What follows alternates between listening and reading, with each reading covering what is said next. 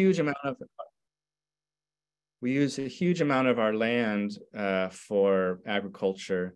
In fact, about 40% of all ice-free land is used for crops and pastures. So we've um, modified nearly half of our planet, which of course removes that for use for a lot of biodiversity or other human uses. So collectively, we have a, a lot of impact on our planet from food production. Now, you've probably seen graphs like this or information like this in the in the news or or in the literature where they rank or compare different foods, in this case by their greenhouse gas emissions um, during production. So you've probably heard a lot about beef and cows as being really bad for climate emissions. Actually, goats and sheep are, are even worse than that. We just don't produce as much of those as we do for cows. But these kind of comparisons are, are what motivated my initial shift towards um, becoming a pescatarian. But this is just some foods, uh, in particular, a lot of the seafood from wild caught fisheries and aquaculture are rarely included in these kinds of comparisons. And it's just one issue, greenhouse gas emissions. But as I was just showing you, there are many things that food production does to our planet that we really need to be paying attention to comprehensively to get that bigger picture.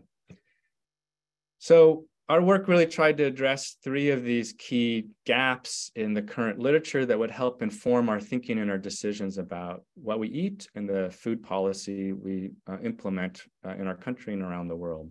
First, as I've mentioned, this information is really siloed. So it's certain foods, uh, but not all foods, or it's one issue at a time rather than all of the environmental pressures from food production. And we really need a comprehensive and comparable way of measuring the multiple stressors that come from all food together. Second, almost entirely this work has focused in the past on uh, per unit measurements. So the, the amount of environmental pressure per kilogram or per pound, which is fine from a human choice perspective. We only eat a pound of food a day or so. But when you add up 8 billion people and collectively look at the food production to feed all those people, you have to and understand the impact for the planet, you really need to account for the volume of production. You can have something that's really high pressure, but very little of it is produced, and it's not going to be that big of a problem for the planet. But if you have something that's not particularly efficient and you produce a lot of it, that is going to have a really big impact on the planet. And then finally, um, most of the studies have not mapped where these pressures occur certainly not all of them together. And these maps um, help provide information on where pressures are greatest and where opportunities are for thinking creatively about shifting food production or reducing food production in places that are having high impact on the planet to help create more sustainable food systems. So these three things are what we set out to tackle with our work, and I'll show you um, results that emerged from what we did. So here we start with the stories of what we did to map and the global food footprint and the results that we got from that. Now I want to show you what we did so that you understand what's under the hood when you see the results. So we looked at four groups of food, livestock, so this is animals that are grown on land, aquaculture, so um, um, seaweeds, shellfish, and fish that are grown in freshwater or um, the ocean, all the many crops, and then wild caught fisheries. And within each of these four broad categories of food, we tracked many aspects of production that lead to one or more of these types of environmental pressures. So, for example, in livestock, we look at manure, which creates um, greenhouse gas emissions and pollution the feed that goes into those animals that each have their own associated pressures, the land use and infrastructure to grow and harvest those um, livestock, the water that the animals need to drink, and enteric fermentation, which of course contributes to greenhouse gas emissions. And you can see we have other measures for each of the other food types that we track as we um, look to understand the comprehensive environmental footprint of food production. And for each of these, we look at these four key uh, environmental pressures, greenhouse gas emissions, GHG, that contribute to climate change, disturbance of the land or uh, water where the food production is happening, which um, uh, disturbs and removes uh, native biodiversity, um, nitrogen and phosphorus pollution, and then water use. Now, there are, of course, other aspects of food production that have environmental consequences, but these are the four really big ones that um, dominate uh, food production pressures and what most people pay attention to and measure. So we can look at the contribution of each of these pieces for each of the food types for these four different pressures. So we can take um, another example for crops, fertilizers, and pesticides produce greenhouse gas emissions and nitrogen and phosphorus pollution. So you can see different aspects of different food production have different pressures associated with them. And then we can pull that all together to measure the cumulative pressure of all of these. And we can measure and map the individual pressures and those cumulative pressures to get this bigger picture of environmental footprint of food production. So lots and lots of stuff under the hood, but we combine that all together for 99% of all reported global food production. So there are a few things missing like um, the food you grow in your backyard garden uh, or bushmeat hunting um, in rural areas that uh, we just don't have data on and so we couldn't include in this study. And as I mentioned, we we account for both the per unit kilogram or, or pound efficiencies of these foods, but also the volume of production and where that is happening so that we really get this big picture of the planetary impact of food production.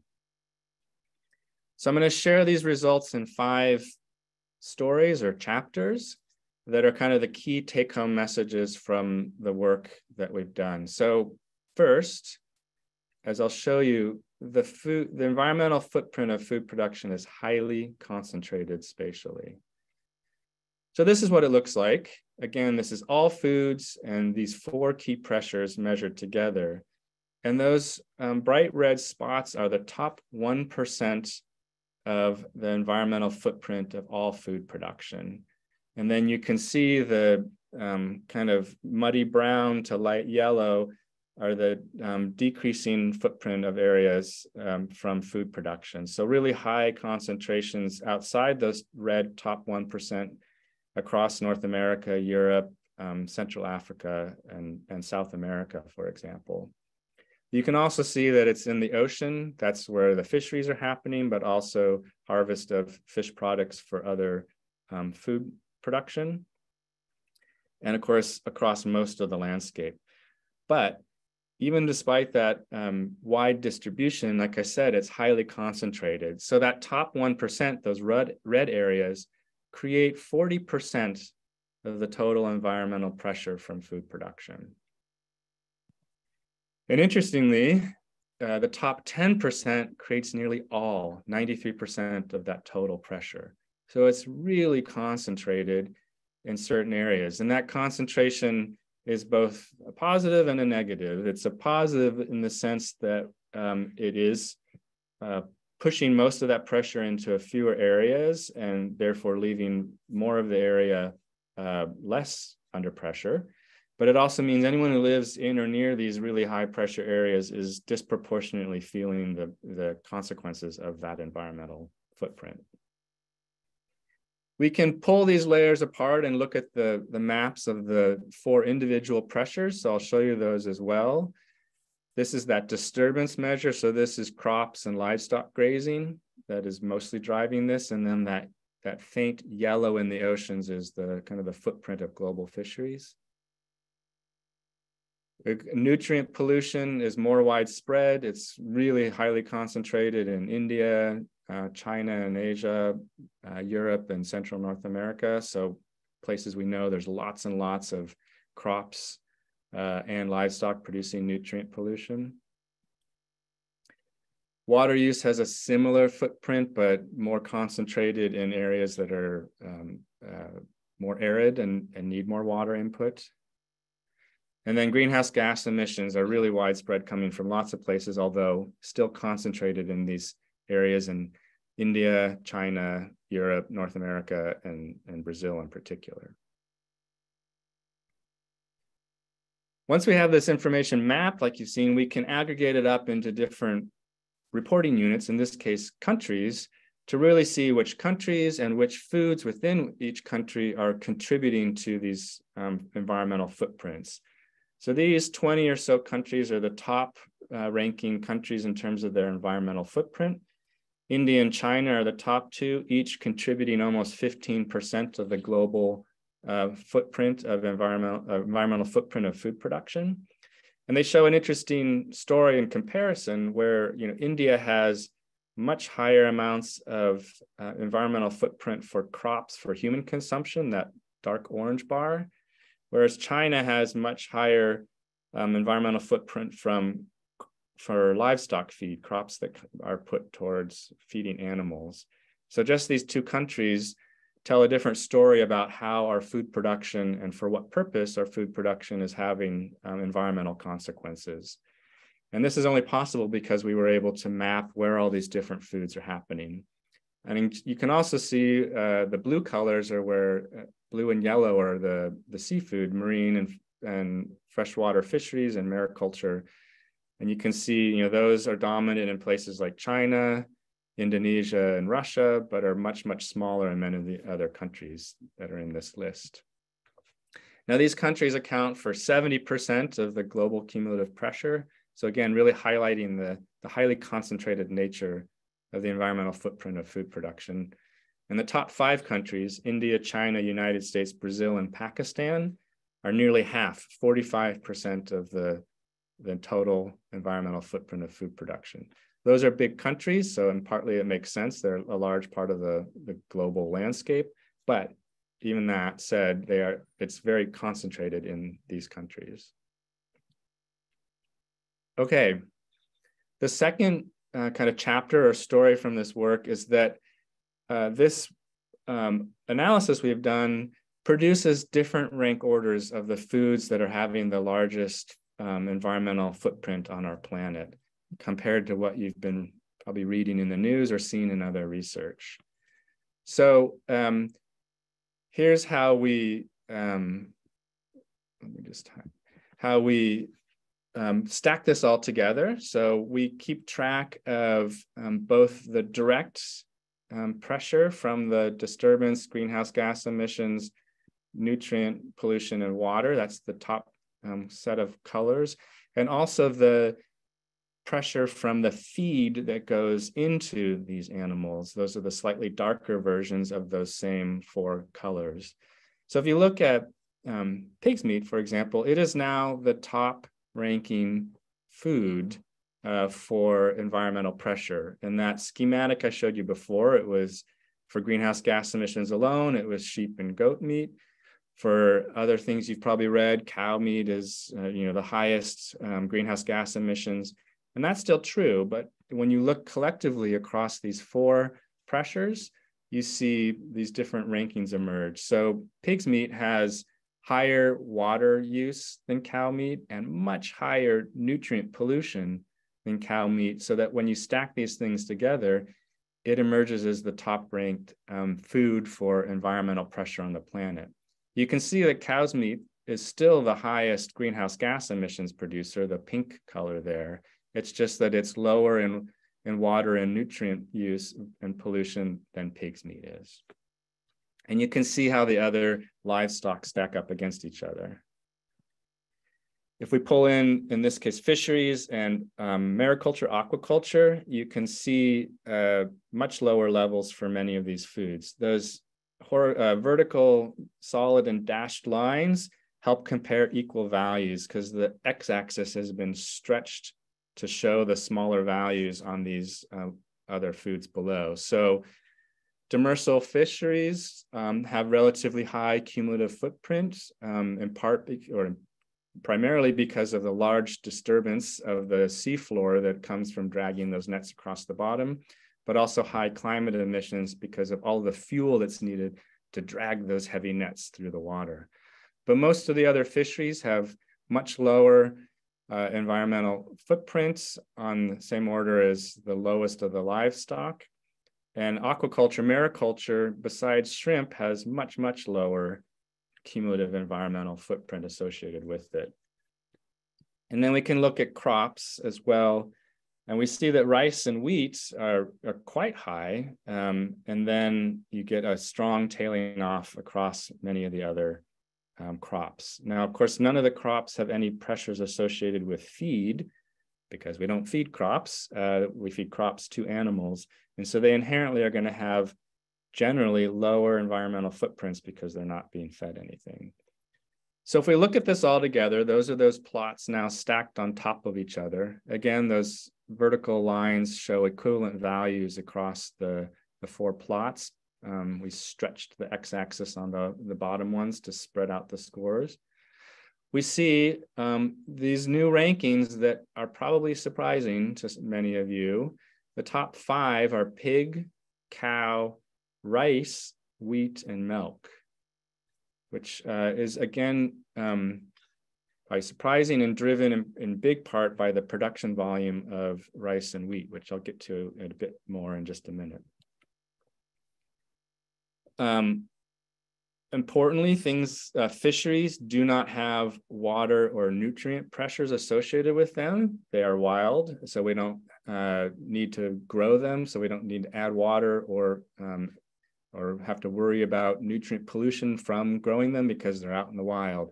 So this inherently makes fisheries uh, have an upper hand on sustainability because there's just fewer pressures associated with um, producing that food.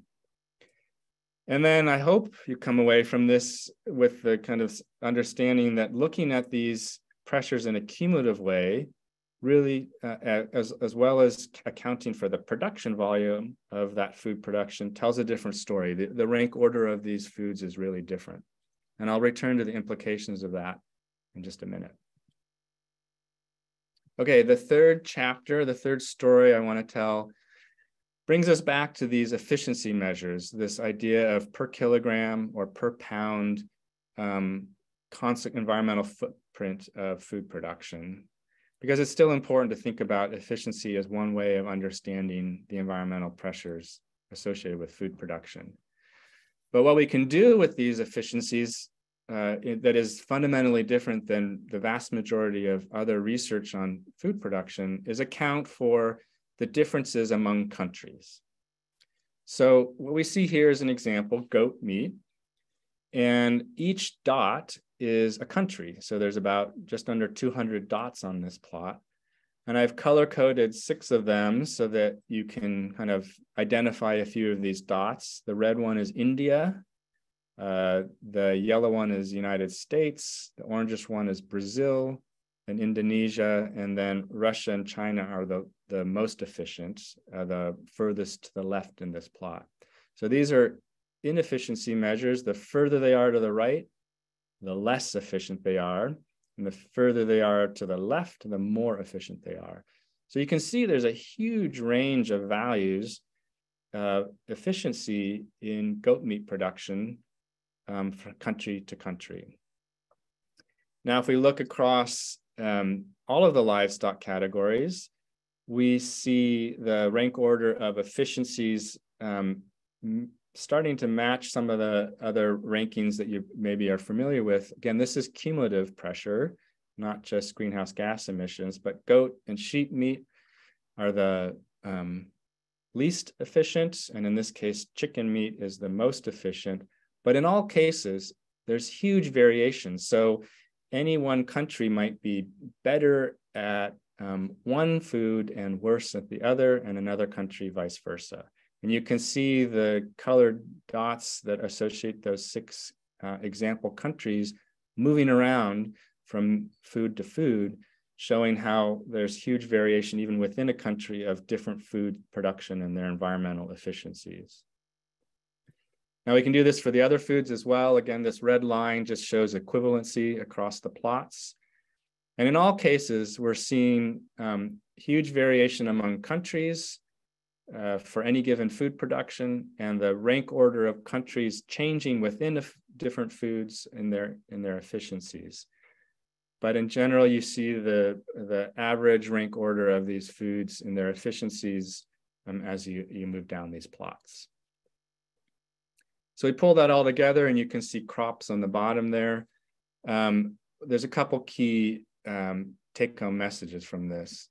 First of all, um, you know, many crops and seafood are particularly efficient. They're far to the left on these plots, which means per kilogram per pound, they're having a relatively small amount of environmental pressure associated with them.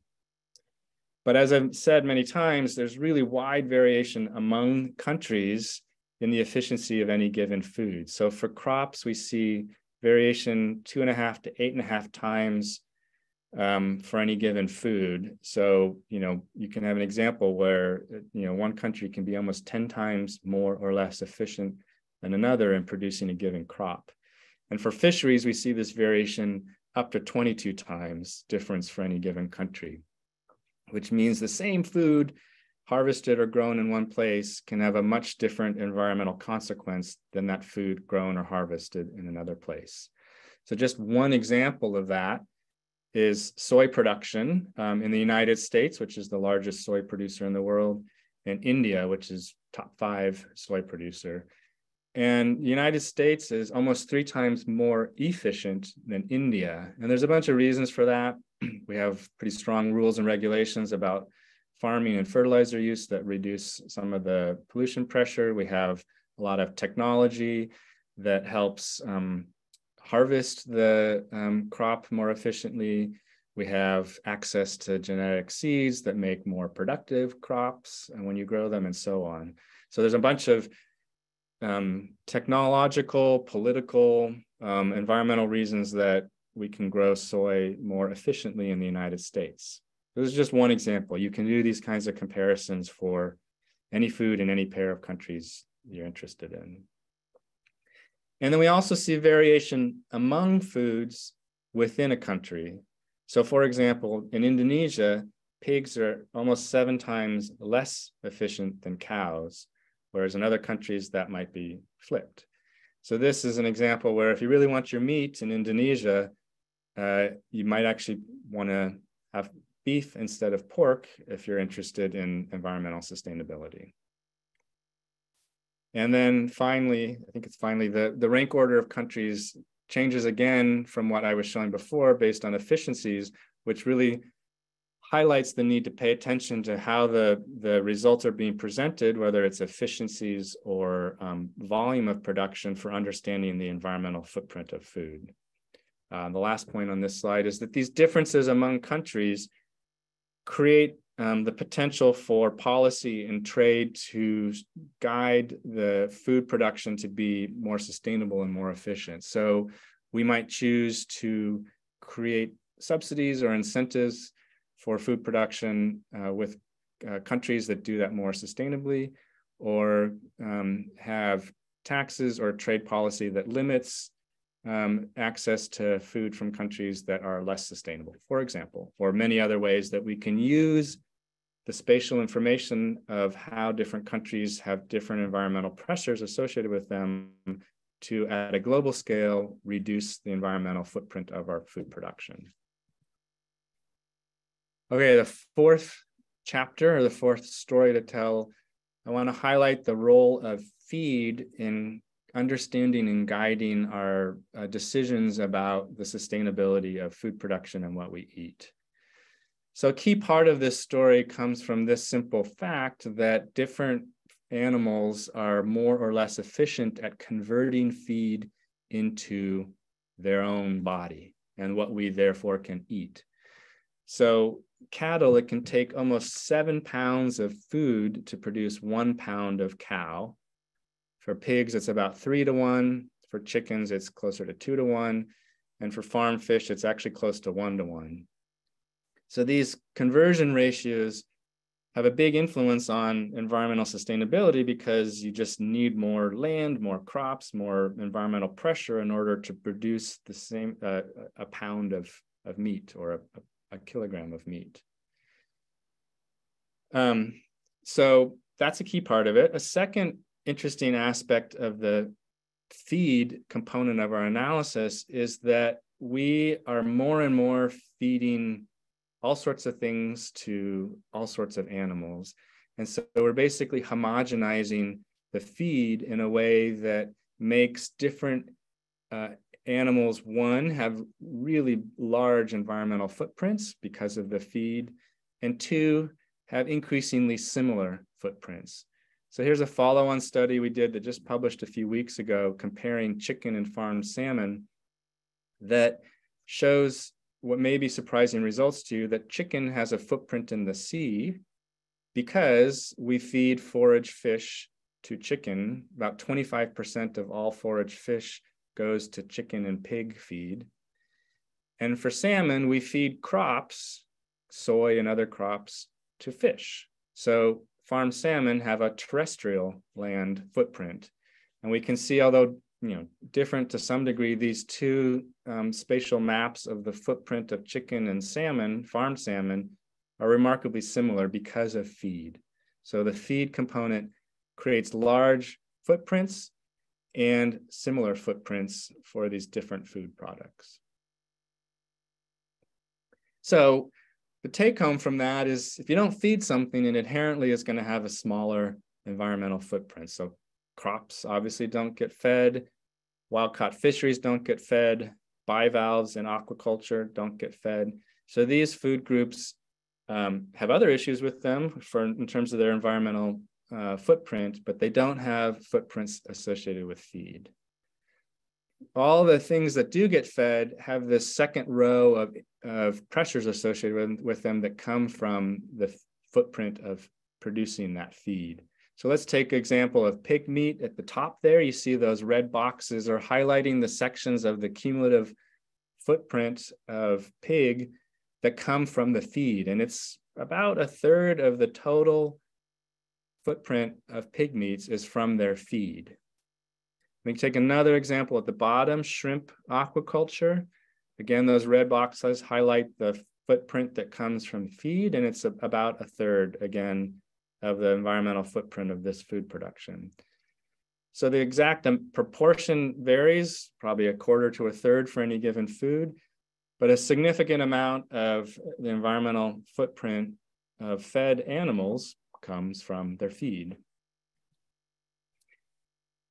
that doesn't mean we can't, you know, continue eating fed animals. Uh, there are things that we can do to uh, reduce the environmental footprint of feed to help reduce the environmental footprint of the fed animal.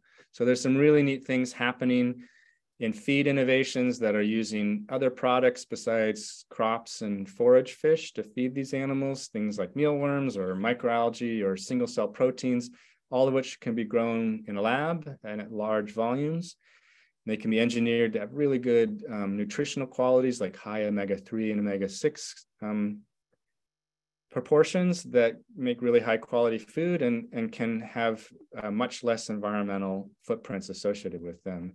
So there are some neat things happening with feed innovation that can help uh, reduce the environmental footprint of, of food production without having to change our diet. Another great example you've probably heard of in the news recently is um, how they have um, started to feed kelp or, or seaweed to cows and reduces their methane emissions by, I think, 13 or 15%. Um, because uh, they burp less uh, when they are fed seaweed. And so this is a really neat story of how innovations in feed can actually reduce the environmental pressure of food production without having to change anything else. The last chapter of the story I want to tell you about from this work is really highlighting this um, distinction between how we measure food's environmental footprint via efficiency versus production volume. And so this story is told through these comparison of these two plots I've been showing you before. So let's take an example of pig's meat, which we've focused on before. Uh, when you look at its efficiency, the top plot here, it's ranked fourth. So it still has quite a lot of problems with it in terms of its efficiency and again, huge variation among countries. So it's inefficient and we produce a huge amount of pigs, nearly 800 million per year. And that massive production volume coupled with its relatively high inefficiency makes the cumulative total pressure of pig meat production on the planet, the highest of any food. So again, inefficient plus huge volume leads to the highest cumulative total footprint for pig's meat. We can take another example, chicken meat here, where it's actually pretty efficient in terms of certainly the most efficient uh, livestock, but we produce 60 billion chicken per year. It was such a massive volume of production that raises chicken meat to be the fourth highest ranked total cumulative environmental pressure food production system on the planet. So again, stories of how efficiency times volume tells a different story. Just two more examples to focus on crops. If we look at rice, it's um, this isn't all crops, so it's about middle of the ranking in terms of its efficiency. There's ones above it I'm not showing that are less efficient. But we produce a huge amount of rice, about 510 million metric tons per year. And so that leads to rice being the highest crop um, total cumulative footprint of, of any crop. We can look at wheat, which is a little bit more efficient uh, than rice, not a lot, but a little bit more efficient.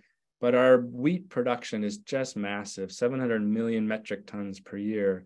And so that um, volume of production raises wheat to be the second most um, highest total cumulative environmental footprint of food production. So again, this combination of efficiencies and volume really helps tell a different story about what's happening.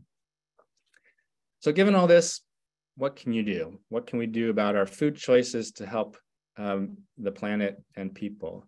Now, of course, there's many reasons people make decisions about what to eat. One of them and what motivated me initially was around environmental sustainability. But many people make decisions about what to eat around animal welfare. They don't want to eat things, animals that are grown in factory farms. Or certainly many people make decisions about nutrition. What is the healthiest diet to have?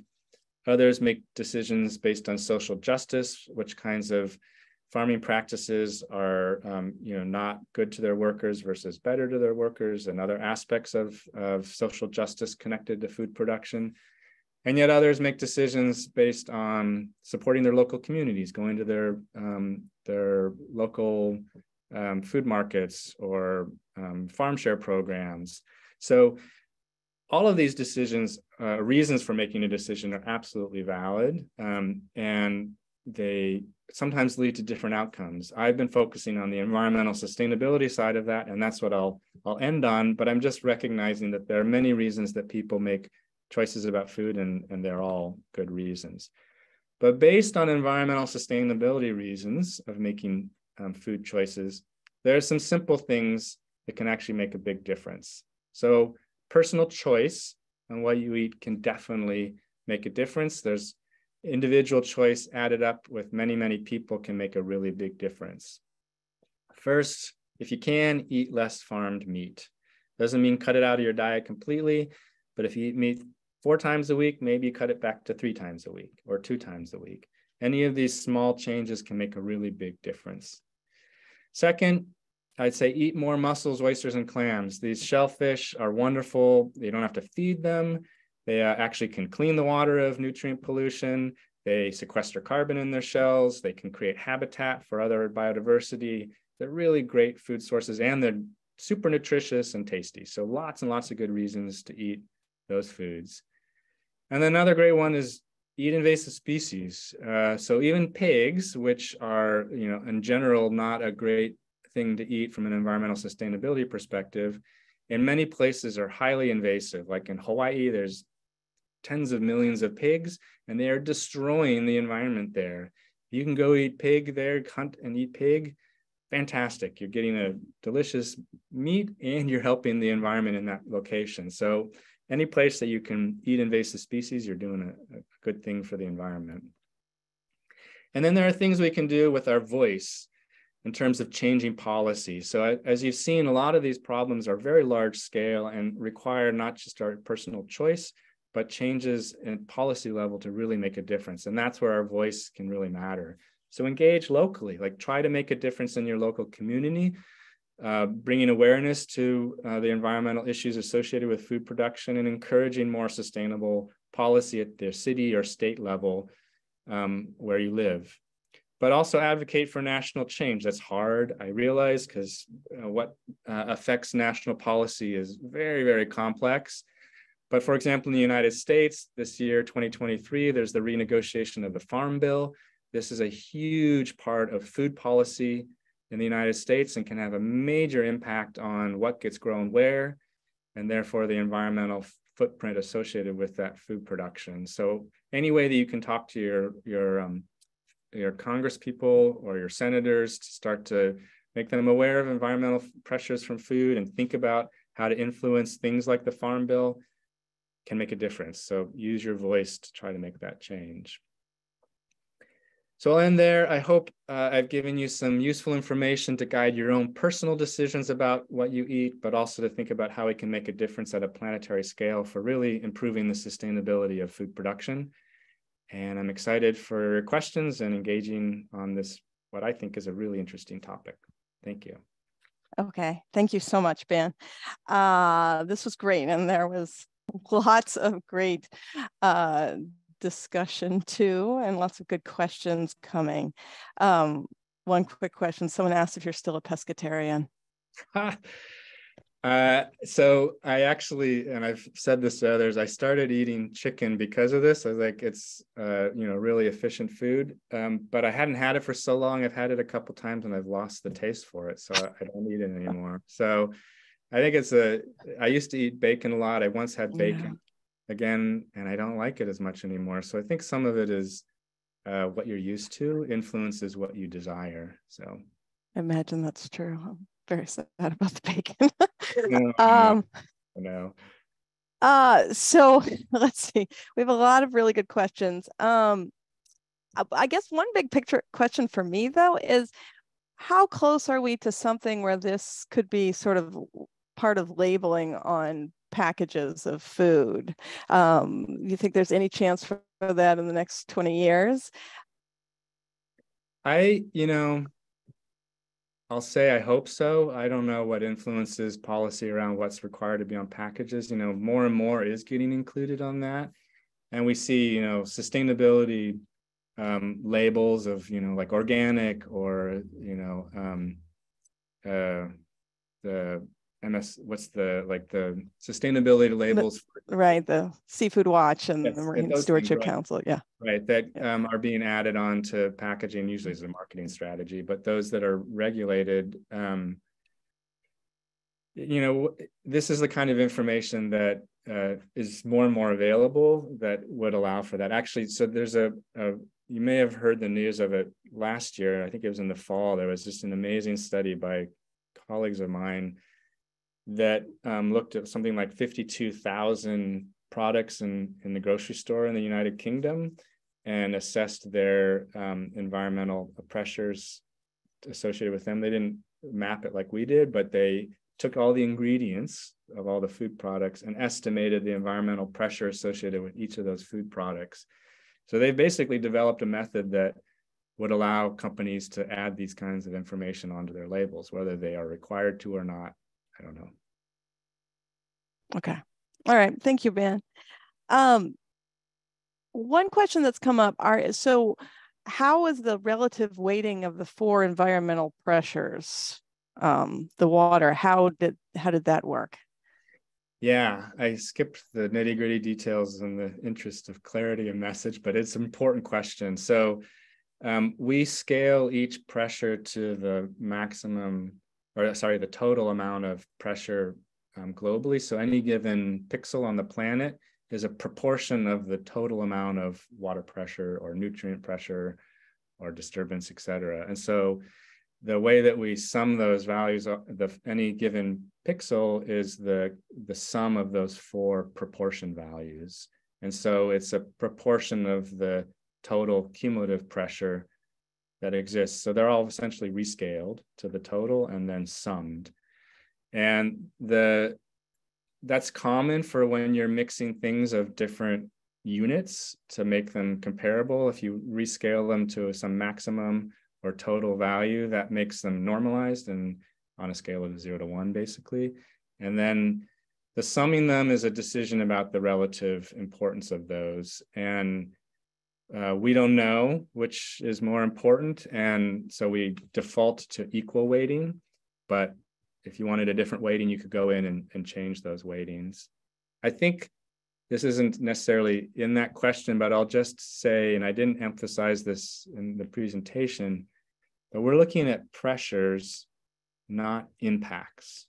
So uh, these are the environmental pressures that come from food production but the impact to human health or the impact to biodiversity or the impact to economies associated with food production is a next step and it's a really complicated one. So we didn't go that next step but a lot of people think about oh food production is having a huge impact on biodiversity which is true but we didn't measure that here. These are all the pieces you need to have in order to measure that impact um, and understanding how you translate pressures into impacts would determine the weighting you would give to these individual pieces.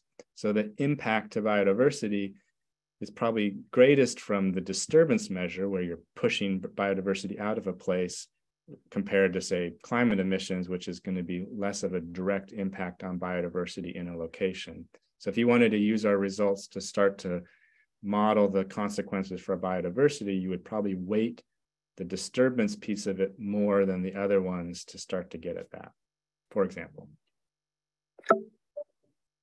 Okay, thank you, Ben. Um, I am looking through the questions in the chat, and I have to say it's, it's overwhelming. Um, so I'm gonna, I'm, I wish we could answer all of them. Um, let's see. There was a question about whether seaweed mariculture is included. Uh, it is, and it is um, like 30% of all Miracle. Oh, sorry. No, it's not. Sorry. It, it is about 30% of all um, aquaculture globally, but um, we don't have good information on where it's grown. And so we couldn't map it. Um, and so it's not in this assessment.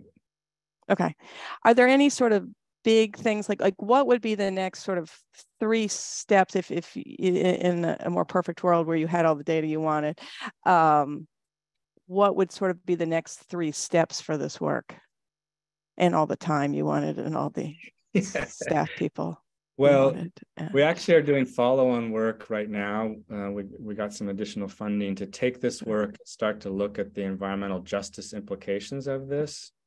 Uh, because we have this information on where the environmental pressures are you know, the, the obvious question that emerges is well what does that mean for who is bearing the the cost of that environmental pressure the most. And so we're actively looking into questions related to the environmental justice dimensions. And that's forcing us to start to reconcile some of the trade issues that are really complicated that we hadn't dealt with fully in the work I just showed you to figure out once it's produced, where does food go?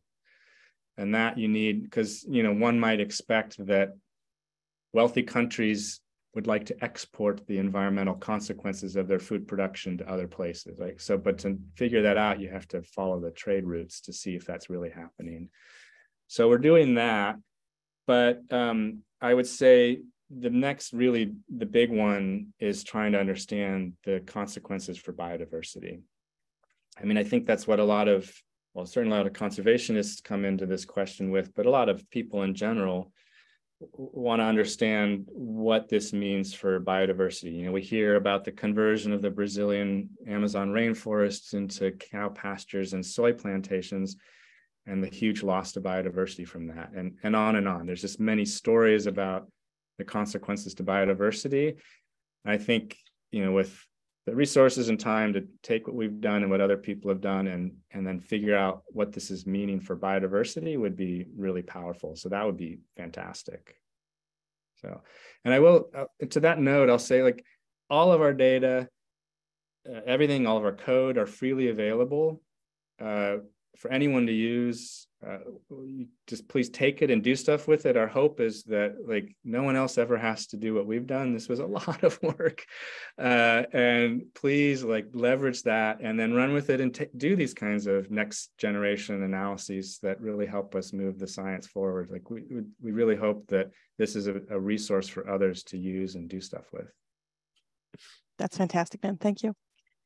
Um, there's questions uh, asking about the differences in pressures um, coming from subsistence versus commercial pro production, but also, um, and then an, another question, I'm sure there's a bunch more I haven't been able to read, but uh, differences in production methods. And they said, you know, you have your feedlot cattle versus your adaptive multi-paddock management of grazing cattle.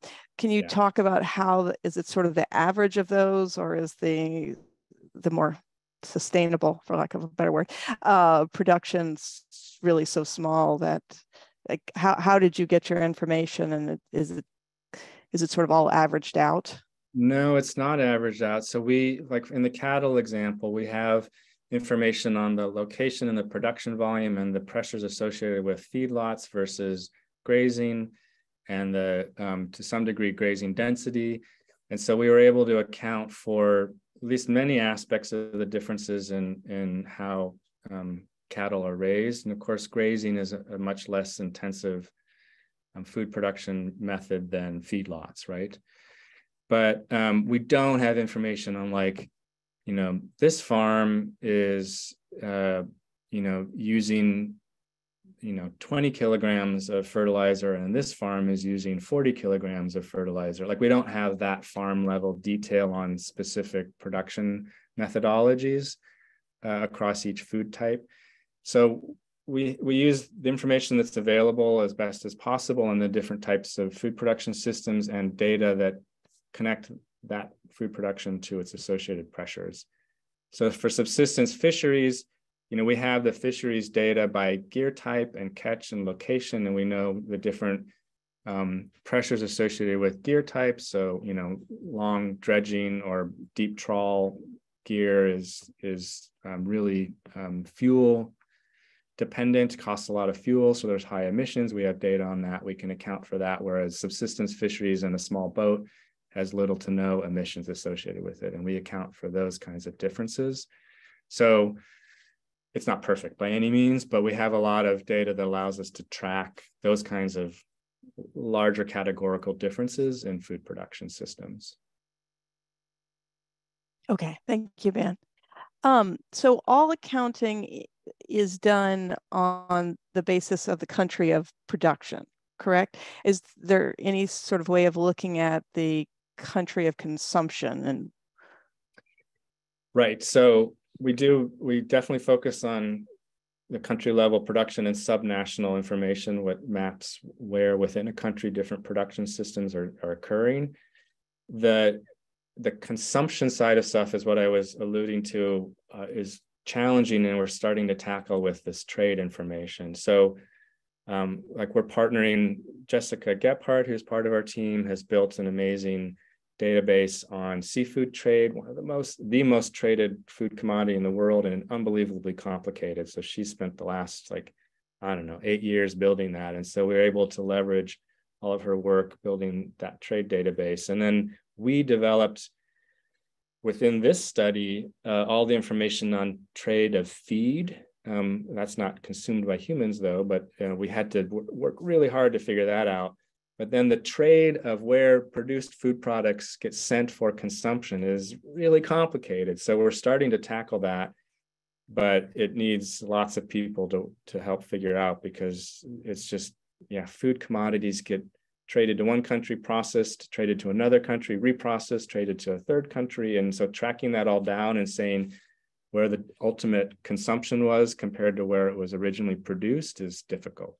So that was a very long-winded way of saying it's hard. And no, we haven't done that yet.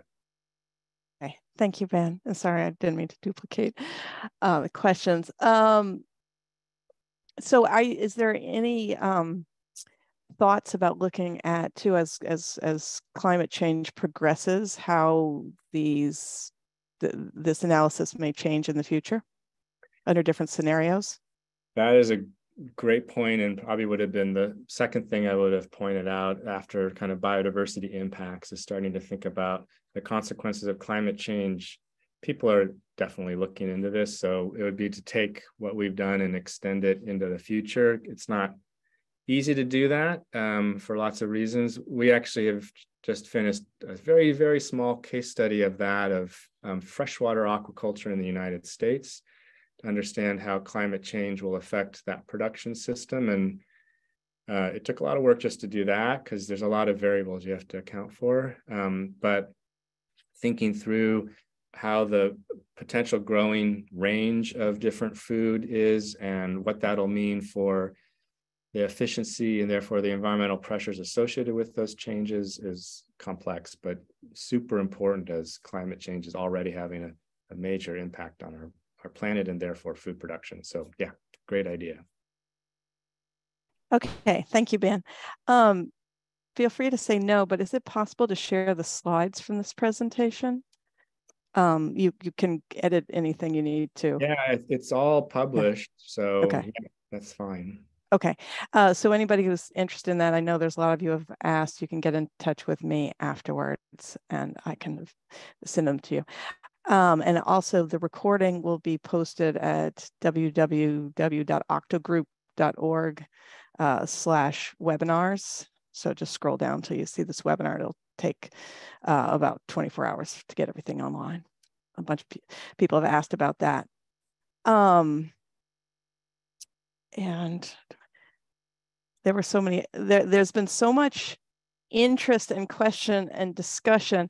Um, and I don't know that Ben has the time to look at everything. So I'll be pulling together all this. I'll provide it to Ben, all the questions and discussion that have come up. But um, if there are others who are interested in seeing it and any uh, enterprising uh, uh, students who want to use the data and see what sort of questions have come up, um, by all means get in touch. And that's something that can be that can be shared. Yeah, um, and uh, please reach out directly if you have questions that didn't get answered and or you need help finding information from this work, I'm happy to help connect. Okay. Thank you so much, Ben, for doing this. We really appreciate it. And thank you, everyone who was attending, for participating and sharing your knowledge and interest. And hopefully, this analysis is the start of doing better uh, for all of us. Yeah. Thank you, everyone. Okay. Thanks, Ben. All right. And bye, everyone. Have a great rest of your day.